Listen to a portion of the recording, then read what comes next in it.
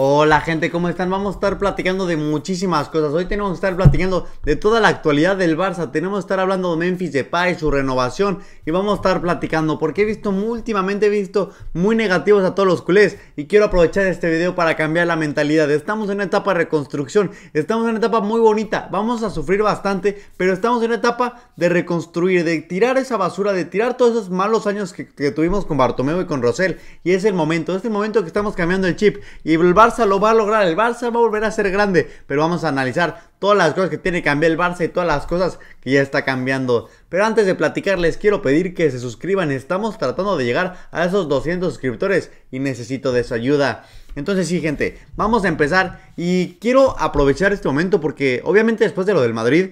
Obviamente siempre está esta comparativa, ¿no? Real Madrid-Barça, Barça-Real Madrid, porque es la rivalidad. Obviamente ellos lo vemos que están en la final de Champions, que tienen bastante mérito por hacer eso. Y veo los culés bastante negativos, veo muchos culés que ya hasta dicen que hay que cambiar nuestro ADN y hay que parecernos, ya hay que pelear más como el Madrid. Creo que eso sería un error, pero ahorita vamos a estar platicando. Pero creo que este esta negatividad hay que cambiarla. Creo que el Barça está en una etapa de transición, una etapa de reconstrucción. Llevamos 10, años que la verdad hicieron las cosas muy, pero muy mal. Desde la dirección deportiva, desde la dirección económica, desde todo en general en, en, el ámbito del Barça se hizo muy mal. Los presidentes lo hicieron terrible, tanto Bartomeu como Rosell lo hicieron horrible. Rosell hasta acabó en la cárcel, simplemente porque lo hizo muy, pero muy mal. Entonces hay que entender y los barcelonistas nos tenemos que tenemos que entender cuál es la situación actual del club y qué es lo que está pasando. Pero lo más importante y la razón por la cual yo digo que tenemos que ser más positivos de lo que estamos haciendo es porque ya por fin, después de 10 años, por fin sacamos toda la basura. Por fin sacamos toda la mierda. Por fin sacamos a gente que no era del Barça. Por fin sacamos a gente que no tenían capacidad para liderar al Barça y tenemos por fin a dos personas y dos líderes que sé que van a sacar esto adelante. Y aparte esos líderes tienen un grupo de personas alrededor de ellos trabajando muy pero muy bien. El caso Joan Laporta y, y Xavi Hernández que son nuestros dos líderes visibles. Son dos personas que aman al Barça. Son dos personas que saben perfectamente lo que tienen que hacer el Barça para volver a ser grande. Entonces hay que confiar muchísimo en ellos. Estoy 100% seguro que nos van a regresar. Ahorita vamos a estar platicando todas las cosas que tienen que hacer para hacernos regresar. Pero yo confío 100%. Estoy confío 100% que ellos lo van a lograr. Ellos van a ser capaces de regresar al Barça donde debería estar. El regresar al Barça al lugar donde el Barça se merece estar. Obviamente hay muchísimas cosas por hacer, hay muchísimo trabajo por hacer. La situación no es fácil porque económicamente el Barça está bastante, bastante mal. Entonces siempre em, em, arrancar con una situación económica es muy complicado. Pero así arrancó la Porta en su primera etapa. La Porta ya lo hizo una vez, ya sabe hacerlo, ya lo ha hecho, ya tiene la experiencia. Y estoy seguro que esta vez lo va a volver a hacer y nos va a volver a levantar. Entonces... Creo que el Barça, creo que hay que ser más positivo. Sí, es verdad que jode un poquito que el Real Madrid le esté yendo tan bien, que esté en, final en finales de Champions, que esté a punto de, firmar a Mbappé, que esté a punto de de firmar a Rudiger. y dices, no, pues sabes qué, es que es un problema porque ellos están peleando por absolutamente todo y nosotros no podemos ganarle en la Europa League. Y yo entiendo perfecto que todos los barcelonistas tengan esta mentalidad, pero creo que cambiarle esa mentalidad, hay que entender el lugar de donde venimos y especialmente y lo más importante, el lugar a donde vamos. Por fin, tenemos a gente capaz en el banquillo, tenemos a gente capaz en los vestuarios, digo en los despachos. Entonces vamos a hacer las cosas bien, vamos, el Barça va a salir de esto, estoy 100% seguro. El Barça va a resaltar... Ay, perdón.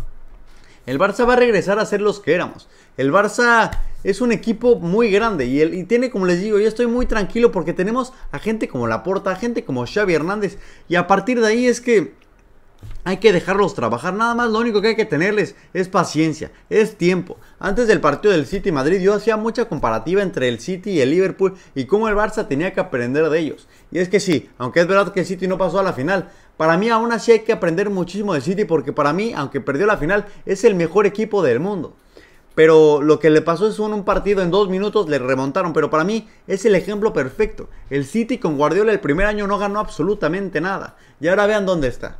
Eh, está siendo el favorito y es el líder de la Premier League. Lleva dominando la Premier League por varios años. Y en la Champions League es verdad que no tuvo suerte, pero estuvo en semifinales. Y estuvo peleando. Y hizo sufrir a un Real Madrid.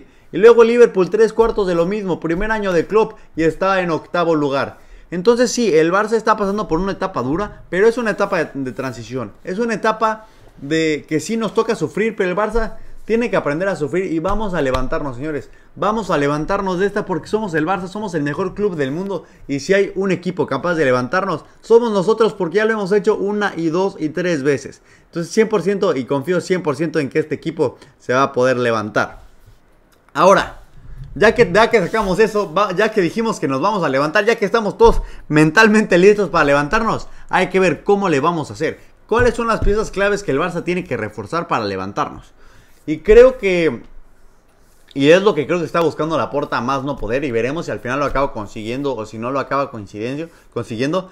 Pero creo que la porta está buscando un, un, un jugador clave. Buscó a Haaland, pero obviamente el Barça no tenía dinero. Y ahorita está buscando a Lewandowski y veremos si, el, si lo puede traer. Pero creo que sí sería clave traer un jugador de esa jerarquía. Un jugador ganador. Un jugador que te mete 40, 50 goles por temporada. Creo que el Barça necesitaría y necesitaría y sería una grandísima operación si el Barça puede fichar a Lewandowski. ¿Por qué? Porque el hecho ya de tener una figura fue lo mismo que hizo con Ronaldinho en el 2003, me parece que fue. Trajo una figura y dijo, todos nos sentimos representados por esa figura y esa figura fue la que levantó, fue la que levantó el ánimo de los culés, fue la que levantó el ánimo de sus mismos compañeros. Entonces creo que lo que está la porta y lo que está Xavi Hernández tratando de hacer me parece lo correcto.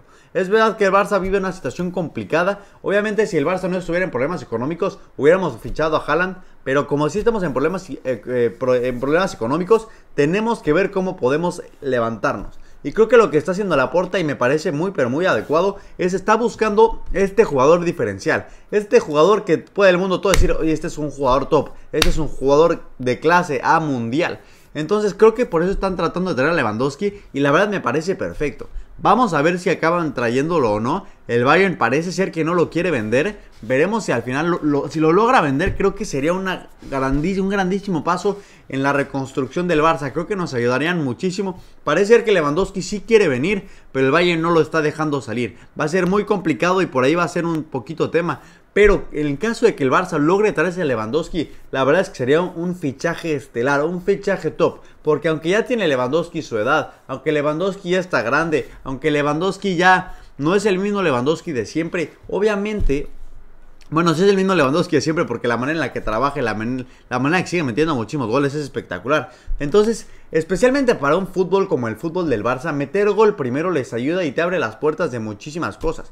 Te da la confianza, te da seguridad, hace que te equivoques menos, hace que el rival te tenga que, que eh, dar más espacios. Entonces, para un fútbol como el del Barça, un goleador es clave. Y Auba es buenísimo, Auba me encanta. Pero creo que en los últimos meses ha bajado también un poco su nivel. También es normal por la lesión, porque lleva, muchos, lleva mucho tiempo sin jugar. Entonces también es normal que tenga este bajón. Pero Robert Lewandowski es un jugador que te garantiza 30, 40 goles por temporada. Entonces un jugador que te garantiza esa cantidad de goles lo tienes que tratar de traer como sea. Y como les digo, si el Barça mete un gol primero, la verdad es que te abre la puerta, le abre el mundo totalmente. Entonces, Creo que sí va a ser muy importante si el Barça es capaz de traer a Robert Lewandowski. Y ojalá sí pueda. Yo confío en que la Porta lo pueda hacer. No va a ser una operación para nada fácil. Pero yo confío que la Porta lo pueda traer. Creo que la única manera en la que pueda hacerse este, este, esta operación es que el Bayern consiga a un delantero de muchísima calidad. Ya se llama el jugador del Benfica, Darwin Núñez me parece que se llama. Si, lo, pues, si puede hacer eso el, el, el Bayern, creo que el Barça podría fichar a Lewandowski. Yo creo que saldría por 40 millones, aunque el Barça le dijo a su representante por 35. Entonces, 40 millones me parecería algo bastante adecuado. Veremos qué acaba pasando. Es normal, porque hay muchos me van a decir seguramente, oye, pero el Bayern ya dijo que no va a vender. Eso es 100% normal, pasa siempre. Ahorita, por ejemplo, hay muchísimos jugadores que dicen, no, no, no, no se vende, se queda, se queda. Por ejemplo, el caso de Mbappé, dicen, se queda, se queda, se queda. Pero realmente no se sabe. Entonces, son ese tipo de cosas que el Barça tiene que aprender. Son ese tipo de cosas que vamos a ver qué pasa. Pero el caso, en caso de que el Barça pueda traer a Lewandowski, creo que nos va a dar la vuelta. Creo que va a ser ese jugador diferencial. Creo que va a ser ese jugador capaz de darnos el chip. Entonces creo que sí, yo sí vería muy pero muy importante que el Barça pudiera traer a Robert Lewandowski. Creo que sería un fichaje que a todos los culés ilusionaría muchísimo. No, no creo que haya otro, mejor, otro jugador mejor que el Barça pueda fichar y que el Barça pueda traer. Entonces, creo que Lewandowski es la mejor opción. Lewandowski sería ese jugador que nos cambiaría el que nos pasaría muchísimo más rápido la etapa de reconstrucción. Entonces veremos, veremos qué acaba haciendo el Barça y podemos veremos si podemos tener a Robert Lewandowski. Ahora también hay que platicar qué va a pasar en caso de que el Barça no pueda traer a Robert Lewandowski, porque también es una situación que podemos enfrentar y que creo que el Barça ya está empezando a enfrentar y empezando a preparar en caso de que el Barça no pueda traer a Lewandowski.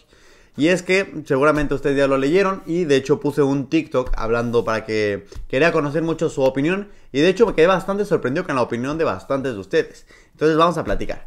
Vamos a ver cuál es el plan B o el plan C, llámanlo así, ya que el plan A fue Haaland, el plan B Lewandowski. ¿Qué pasa si ninguno de esos dos funciona? Creo que lo que va a hacer el Barça va a ser eh, más que reforzar ya por nombres. Yo creo que lo que haría el Barça sería tratar de renovar los jugadores que tiene ahorita, caso Memphis Depay y traer a fichajes que no sean tan estelares. Fichajes como el de Rafinha, de Leeds. Creo que ese tipo de fichajes sería lo que estaría tratando o buscando el Barça. Y eh, de 9 seguramente jugaría Ansu. Entonces seguramente si no llega Lewandowski la alineación se vería... Bueno, y también habrá que ver qué pasa con Usman Dembélé, que ahorita vamos a estar hablando del tema. Pero entonces sería Ansu de 9 Luego por la banda izquierda seguramente Ferran, porque Ferran es un jugador que la verdad, bueno, a mí me gusta mucho y le gusta mucho a, Xavi Hernández también. Y por la derecha ojalá pueda renovar Dembélé, yo espero que renueve y creo que va a renovar. Entonces, eh, si esa es mi delantera, realmente no la veo tan mal. O también Ansu y Ferran podrían rotar. Ansu podría jugar de 9 y Ansu, digo, Ferran podría jugar de 9 y Ansu por la izquierda. Entonces veo muchísimo más variedad.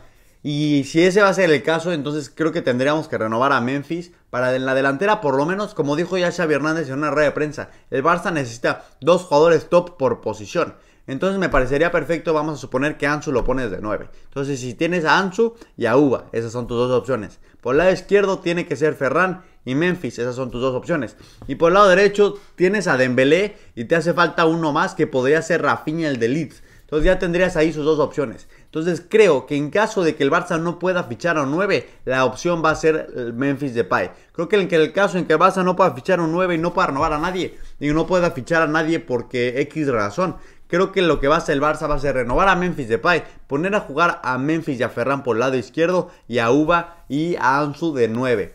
Veremos si, acaba, veremos si acaba pasando esto. La verdad es que yo tengo muchísima fe, muchísima confianza en que Ansu pueda venir, pueda retomar eh, su juego, pueda retomar ese nivel que nos había mostrado.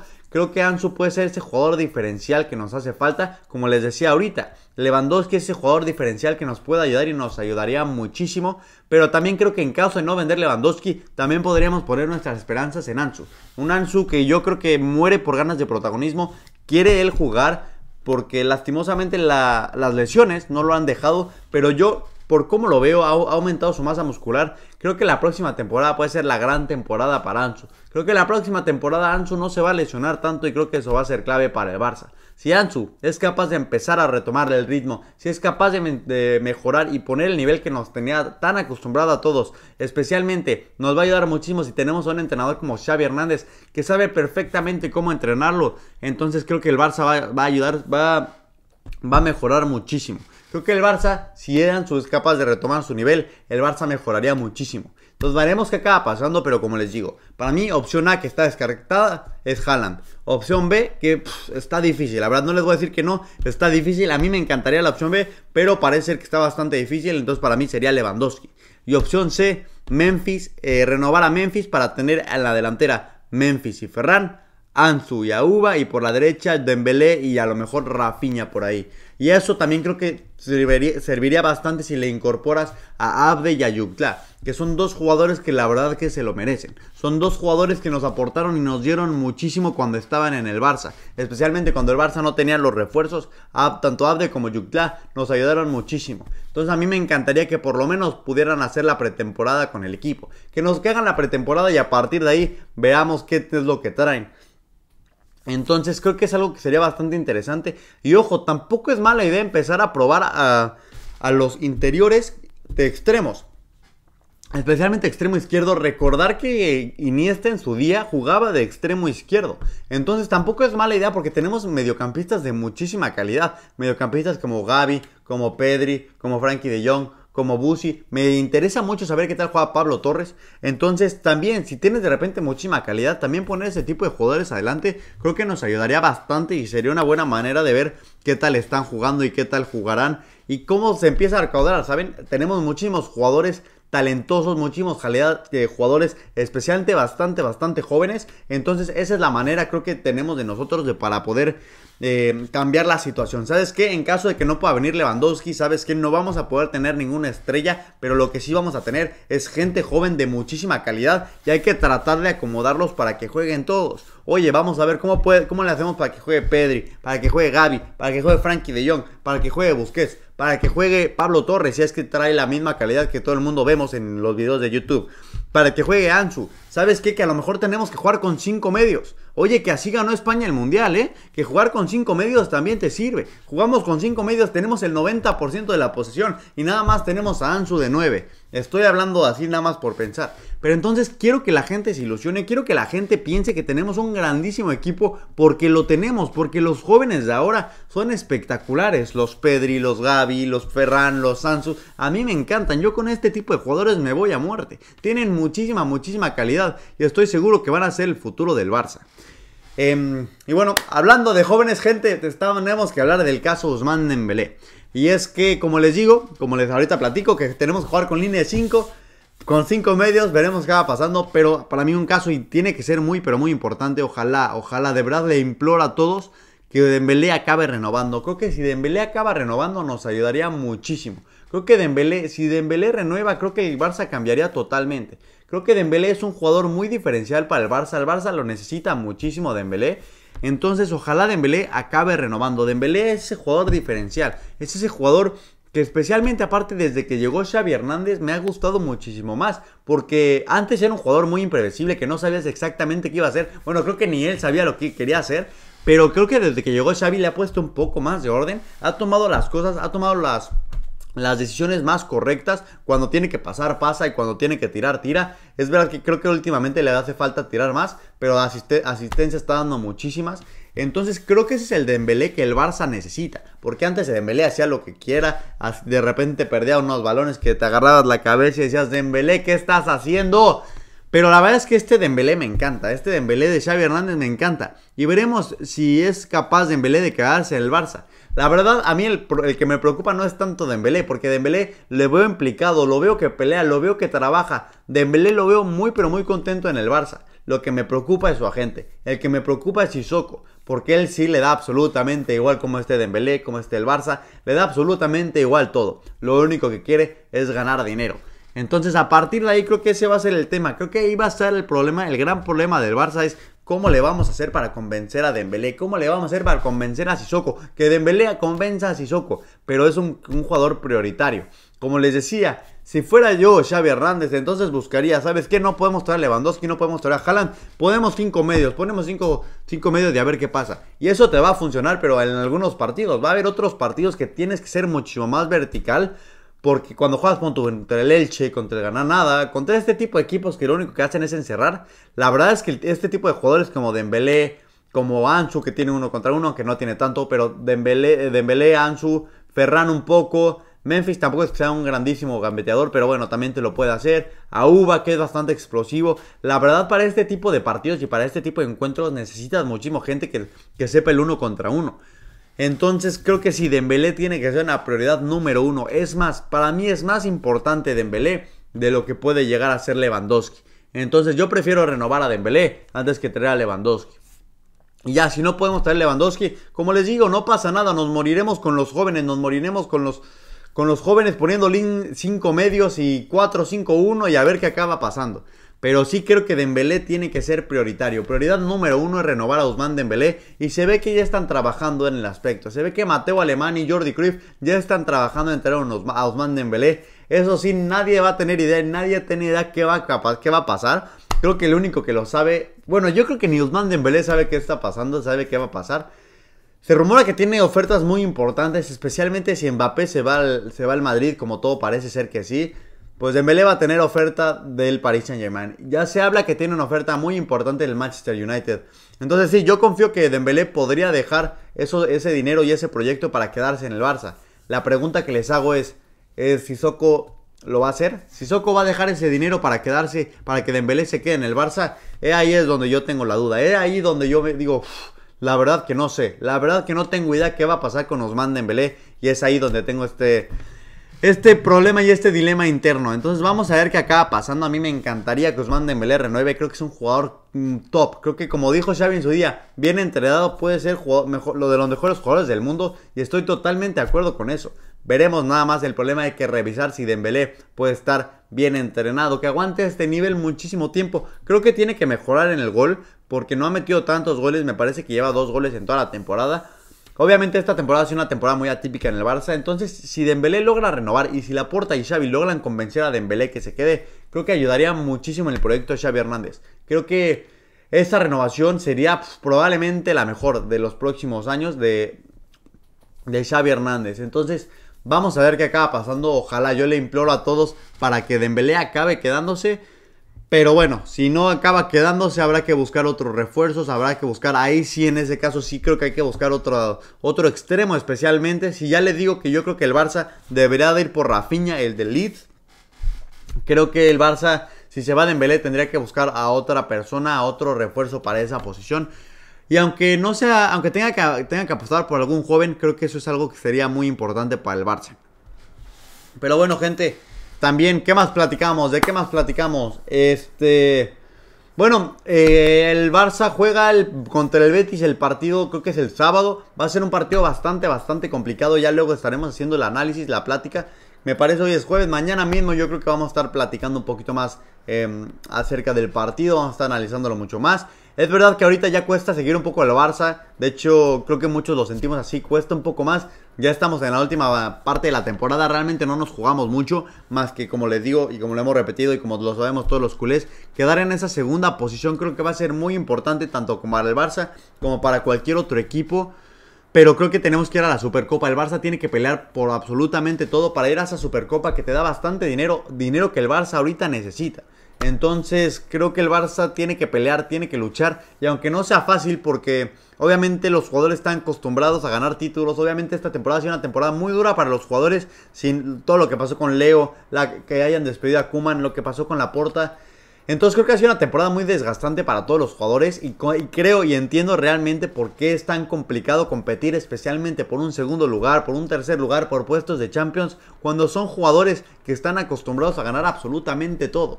Entonces hay que ver, hay que ver qué acaba pasando. Yo confío mucho en que el, bueno, primero, si el Barça gana ese partido, se clasificaría matemáticamente a Champions. El primer objetivo de la temporada. Y el segundo también muy importante, que se alejaría más del Sevilla y se mantendría en esa segunda posición. Veremos al final qué acaba pasando. Ojalá el Barça lo gane y como les digo, ya mañana vamos a estar platicando un poco más del partido. Y por último, quería platicar de las nuevas playeras del Barça. Y es que seguramente muchos de ustedes ya las vieron. Pero es que están, uff, uff, uff, están muy pero muy bonitas. Las tres la verdad es que me encantaron. Gerard Romero como siempre estaba ahí puntual, atento, listo para dar la noticia. Y es que sacó la foto. Sacó la foto oficial. Los que no han visto la playa del Barça vayan a su Twitter ahorita que acaban de ver ese video. Y vean cómo está la foto. La verdad es que la foto es súper bonita. La playera es súper bonita. Es, tiene como azul y luego las líneas del Barça. Uff, la verdad es que es probablemente de las playeras más bonitas del Barça que han sacado últimamente. Porque la verdad es que últimamente entre Bartomeu y Nike no ha dado una. Entonces este año me parece muchísimo más bonito lo que he visto. La verdad es que me ha, gustado muchísimo más. Probablemente sea de las que más me haya gustado. De las que más me ha emocionado. De las que por lo menos las veo y digo, uy, sí tengo ganas de comprarme esa playera. Entonces sí, las tres la verdad están muy bonitas, creo que van a salir a la venta, creo que se anuncian el primero de junio, me parece que es cuando se anuncia la primera, luego el 10 de junio y luego hasta finales de agosto, me parece que es el orden, digo más o menos, no me acuerdo tan pero creo que ese es el orden de la playera, será, va a ser la azul como con líneas de, bueno, roja y azul y un poco de azul oscuro, la, la segunda equipación va a ser una dorada que también va a estar bastante interesante, me recuerda bastante a la que tenía Ronaldinho, no sé si se acuerdan, entonces, esa va a ser la segunda. Y la tercera equipación creo que va a ser un blanco grisesón. Que mm, también la verdad me gusta muchísimo. A mí mis favoritas son. No sé, no sé qué sería. Creo que sería la primera, luego la tercera y luego la segunda. Pero la verdad es que las tres son súper bonitas. Entonces veremos qué acaba pasando, veremos cuándo las anuncian y ya cuando las anuncien oficialmente veremos, veremos, la podemos analizar y podemos platicar absolutamente todo. Pues bueno gente, muchísimas gracias por ver este video. Si les gustó, denle el botón de me gusta. Déjenme en los comentarios qué les pareció el video, qué les parecen las playeras, qué les parece lo de Lewandowski, qué les parece lo de la media del Barça, absolutamente todo. Muchas gracias por ver este video y nos vemos en el próximo video. Hasta luego.